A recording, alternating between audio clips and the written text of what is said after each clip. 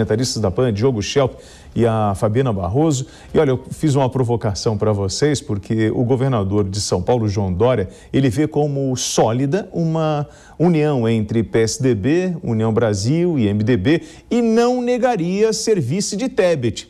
Então, é uma possibilidade aí o Dória se candidatar à presidência. Quem vai contar para a gente é Camila Yunes. Camila Yunes, Dória, em função do resultado das pesquisas, está traçando uma outra estratégia? Camila perdeu o contato com a gente, mas pode ser isso, Diogo Schelp. Dória, de repente, olha, o balão de ensaio foi, não estou aparecendo muito bem nas pesquisas, então eu vou tentar uma outra aproximação? Olha, William, eu não vejo essa declaração como uma desistência ainda do, do governador João Dória em sua pré-candidatura à presidência.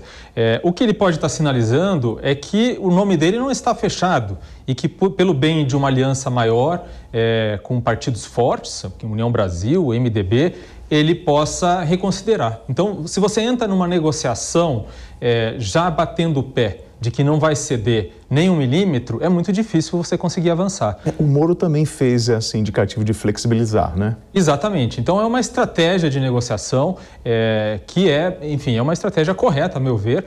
Agora, a gente pode avaliar também sobre, sobre outra ótica, né? O Dória, ele tem uma rejeição maior do que a Simone Tebet, é, e a Simone Tebet, apesar de estar com 1% nas pesquisas, segundo algumas pesquisas, Sim. e o Dória com 3%, é, é uma diferença pequena. Pode okay, ser que ela Diogo. tenha mais avaliação. Obrigado, é por causa do nosso horário. São 13 horas e 56 minutos. Nós estamos é, para toda a rede Jovem Pan nesse exato momento. Eu queria falar com a Camila Yunes. Camila, nosso sinal caiu justamente sobre essa possibilidade da aproximação. Dória, Simone Tebet. Pois é, William, são tratativas iniciais, ainda está tudo muito no começo essa discussão. Ontem, inclusive, teve uma reunião em Brasília entre os líderes de algumas legendas, né, do PSDB, do MDB e também da União Brasil, para falar sobre a formação de uma federação entre esses partidos. E na reunião ficou, é, foi falado sobre a possibilidade de retirar alguns nomes da candidatura da presidência para ir fazer uma candidatura única. Mas, claro, são conversas iniciais. A gente lembra, né, como vocês bem estavam dizendo, o, do, o PSDB tem o Dória, que ganhou as prévias no PSDB para disputar as eleições presidenciais. O MDB tem como pré-candidata a Simone Tebet, que é senadora, e o União Brasil ainda não tem nenhum nome para disputar essas eleições, William. E mesmo, né, foi falado, que tem dito, é que mesmo que a união formal não seja concretizada, os diretores querem uma aliança para um nome único, né, para poder disputar as eleições. O presidente do PSDB, Bruno Araújo, ele disse que foi devidamente autorizado por João Dória a submeter a candidatura dele à vontade eventual é, da federação. Então, é, são discussões iniciais com relação a isso.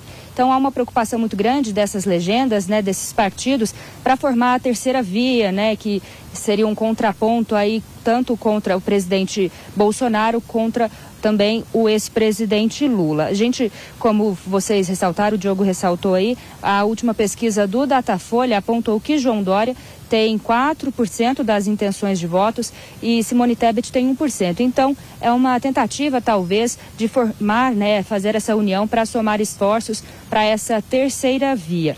Durante as prévias, inclusive, João Dória disse que sentaria com os demais partidos para negociar e que também poderia abrir mão da sua candidatura. William. Então, obrigado, Yunis, pela informação. Agora, Fabi, é, o Dória e, a Simone, elas, eles enfrentam dificuldades em relação à, pessoa deles, à divulgação. Porque assim, o Dória é conhecido no Brasil inteiro. Na verdade, ele está aqui muito, ele aparece muito na região sudeste, aqui em São Paulo. Mas para o Brasil, o Dória é um desconhecido e ele precisa trabalhar essa imagem. Simone tem esse peso.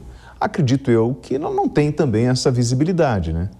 Olha, na verdade, eu vou até olhar para um outro lado que ficou muito exposto, um próprio derretimento, e politicamente o João Dória está sem saída.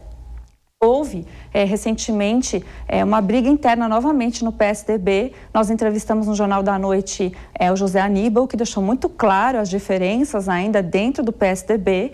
E então a gente vê uma obstrução de vias. Por um lado, a candidatura do Moro, que ganhou ali né, mais destaque destaque por essa terceira via, e por outro lado, a própria divergência dentro do partido. E a gente vê a ala Dória do partido dizendo que então Dória deveria colocar é, se disponível para negociar contra os partidos. Então, o que está ocorrendo é uma é, um azeitamento desses grandes caciques partidários, onde agora, neste momento, tanto o Dória quanto a Simone Tebet são apenas peças. Quem decidirá, então, são os partidos políticos pela montagem das, das federações. É, Diogo, sobre a figura do Dória, eu falei aqui, ó, o Dória não é conhecido no Brasil inteiro. Posso até estar errado nisso. Né? Mas acredito que a imagem que passaram do Dória durante a pandemia, que foi o fecha tudo, que é ele que acabou com a economia, enfim, ele precisa mostrar para o Brasil o que ele fez aqui em São Paulo na sua administração, enfim, mostrar os pontos positivos.